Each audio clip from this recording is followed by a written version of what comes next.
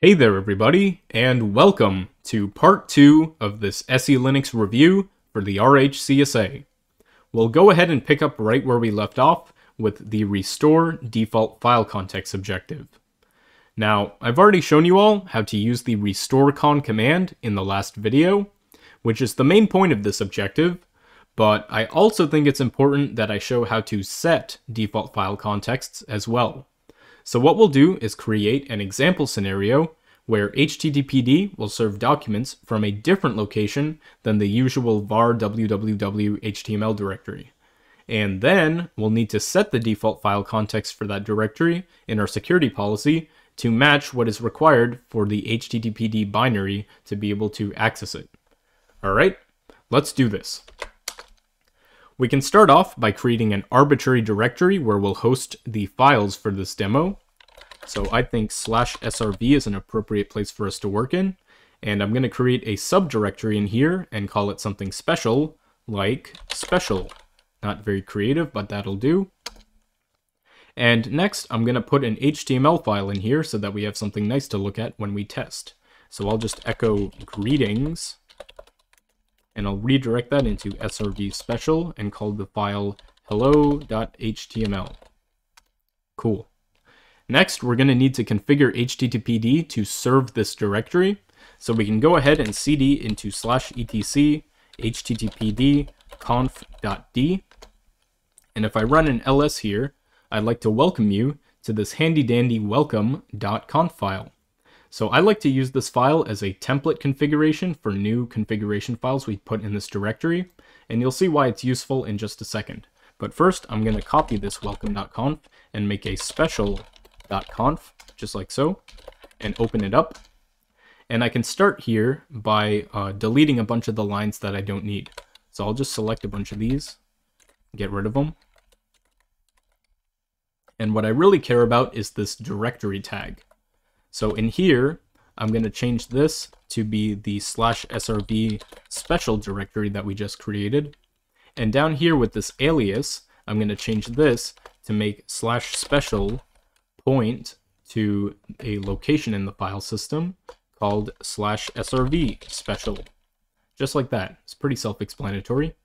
Uh, I'm going to go back up here and add an options key, and uh, I'm going to do a plus indexes.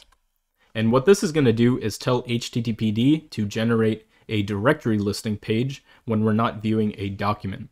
So this will be a little bit useful for our debugging. We can see what HTTPD is able to enumerate. So yeah, that'll help out a little bit. And now I'm just going to write and quit the file, and uh, instinctively we're going to need to restart the HTTPD service. So I'll just do a systemctl restart HTTPD and we didn't get any errors, so that's all good. And now just to show you that it won't work right away, if I try to access localhost slash special in the browser, we'll be able to see this directory listing, but we won't be able to see our hello.html file. And further, if I try to access hello.html directly, we're going to get this scary forbidden error and this is likely due to SE Linux getting in the way of HTTPD being able to access our file. So we can confirm that by just running a set enforce 0 to make SE Linux permissive. And now if I check again, uh, we can see the greetings. Pretty cool. Uh, also, the directory listing will be complete now uh, since SE Linux is permissive. But we need to keep SE Linux enforcing, so we're going to change that back. And of course, it's not going to work again. And so what we need is a permanent fix. So we'll do that by using the semanage fcontext command and then running restorecon to apply a new default uh, type context to the directory. So if I uh, go ahead and show you the man page first, so that's man semanage dash fcontext, I'd just like to show you this. Uh, here at the bottom are some helpful examples if you ever forget how to use this command. And this specific one right here is going to resemble a lot of what we're going to do uh, in just a second. So yeah, I just wanted to show you this. The examples are always here and they help a lot. All right, so now we'll just type in a very similar command to what we just saw with a semanage fcontext dash a dash t And so the A stands for adding a record for a specific object, and the dash T stands for type. And so after the T, we're going to type in the type context that we want applied. So that'll be httpd underscore sys underscore content underscore T. And after that, we're going to need to put in a regular expression representing the area in the file system where we want this change to be effective. So that'll be in slash srv special, and this is important. We're going to do an open parentheses slash dot star close parentheses and a question mark. And now let me zoom in on this so that we can go over this a little bit more. So remember, first of all, to do this uh, in quotation marks, we need this to be taken as a literal. And next, uh, let's explain what this regex actually does. So the parentheses right here, they group a pattern. And so the pattern inside of these parentheses is a forward slash and then a dot and a star. And so this dot star is supposed to match any character zero or more times after this forward slash. And so this could represent the name of a file or a subdirectory, just like that. And so outside of this group, uh, we have a question mark. And so this signifies that the preceding pattern group, this thing, could match 0 or 1 times. So all in all, uh, this regular expression could match to SRV special alone, or it could be its subdirectories and files within this directory. And yeah, so I hope that made sense. I'm going to zoom out again and just run this command. And so we got no problems there. That's good. And now uh, I'll be able to run restore con dash rv for recursive and verbose. And then I'll just point it to slash srv special. All right. So as you can see, it relabeled srv special the directory, and it also relabeled our hello.html file. And just to show you, new files and directories that I put here will also take up that type context that we set. So I could do something like make dir dash p srv special a slash b slash c. And I could also do something like touch and then srv special a slash b slash nonsense. And there we go. And now if I run something like an ls dash l capital R capital Z, so the capital R is for recurse and the Z is for SE Linux info, and then point it to srv special, we'll see here that all of our files have taken up the correct type context, including the new ones. Cool. And of course, if I try to access these files from the web server in the web browser, uh, we'll be able to see them just fine, even with SE Linux enforcing. Awesome. All right. So yeah, uh, we just went super in depth here by using a real service as an example. So I really hope that helped. Uh, just a few more commands that I'd like to show you before we move into the next objective. Uh, that'll be the semanage fcontext l command. And so this will list the default file context settings currently in the policy. And so I can drill down in here by using a grep and grepping for something like special that we set earlier. And there it is. It's indeed taken effect. It's right there. And yeah, uh, but let's say that I did something like a boo-boo and I added an f context setting that I didn't mean to add, like a typo. So for example, uh, if I pull up my old fcontext command, where is it? Uh, here it is. And I change this to something like uh, slash blah, why not? And then just run this. It's going to add this fcontext setting to our policy.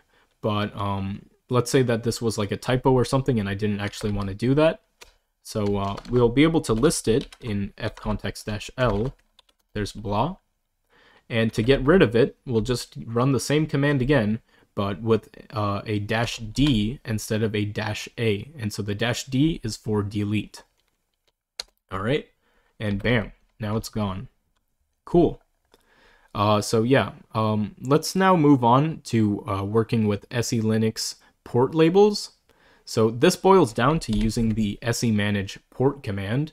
So if I run something like semanage port dash L, um, uh, just like this, we'll see all of the uh, port type context settings that are currently in the policy. And I could drill down in here just like we did with fcontext. I could grep for HTTP, not HTTPD to be clear. This is a web server agnostic setting. Uh, I'll grep for that. And you'll notice this HTTP port underscore T uh, port type context. So this is important. We'll just keep this in mind. But basically, um, these are a bunch of standard and mostly common port numbers that are allowed by default in the targeted policy for HTTP services. But we don't want to settle for that. Uh, in fact, we want to learn something. So for our example, uh, we're going to make HTTPD host on an arbitrary port like 4080. And to do that, we'll go into the uh, slash etc httpd uh, conf httpd.conf file and scroll down a little bit here to the listen line and change it from 80 to 4080. Just like that. And then I'll write and quit. And uh, of course, we're going to need to restart HTTPD. But um, if I try to do this all willy-nilly uh, without changing the uh, SE Linux settings, you'll see that we're going to get an error. And let's find out why. So if I run systemctl status and then HTTPD, you'll see here that this error is a permission denied um, on this make sock call for binding to the address uh, port 4080. So uh, we already knew that this would happen based on what we just did. Uh, we didn't change the SE Linux HTTP uh, port port type context to allow for this port. So we can fix that. Um, it's pretty simple. What we're going to do is just run a similar command to semanage context, except we'll just be working with ports. So we can do an semanage port dash a dash t. And if you remember from a moment ago, we checked that that type context was called http underscore port underscore t. All right, so it looks pretty familiar so far. The special part is that we're going to need to put in a dash p after the uh, context and then type in a protocol like TCP or UDP and then also provide a port number like 4080. So we already know HTTP uses TCP, so we'll just do that um, with port 4080 and just run this. And now if I try to restart HTTPD, uh, we're getting no problems there. And now let's go ahead and try to access our pages from this new port. So if I refresh the page, uh, it's not serving on port 80 anymore, so we're going to need to change that to port 4080. And there we go, we're able to access our stuff just like before. And uh, for completeness, let me just remind you that you can use a dash D here to uh, delete the semanage setting, just like we did with fcontext. So if I do that um, and go back here, um, looks like it's still working because the service is running, but if I restart the HTTPD service, uh, we're going to get that same error again. So yeah, there's a little bit of a deep dive into how that works, but I'm going to change it back to uh, an add, not a delete, because I want this to work. Yeah, so now it'll work. There we go. Yeah, so uh, one more thing is uh, just the man page for semanage port. So that'll just be man semanage dash port. And just like before, there are examples at the bottom of the page, and they resemble a lot of what we just did, especially this one right here. So yeah, just keep this in mind. Uh, maybe you forgot like you needed the dash p or something like that. It's always good to be able to check on it with these examples. Makes everything easier. So I'm going to quit out of man, and I'm going to bring this video to a close because of the length. So I'll try to bring out part 3 as soon as possible, so stay tuned for that. And of course, I hope this video was useful for you, and as always, thanks for watching.